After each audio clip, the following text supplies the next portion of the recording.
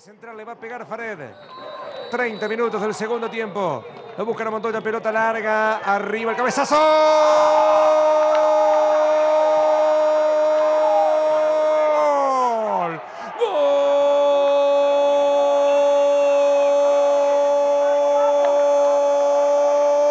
De Central el negro Acevedo. Fue a buscar esa pelota Central al fondo de la red. La mandó, sorprendió a propios y extraños.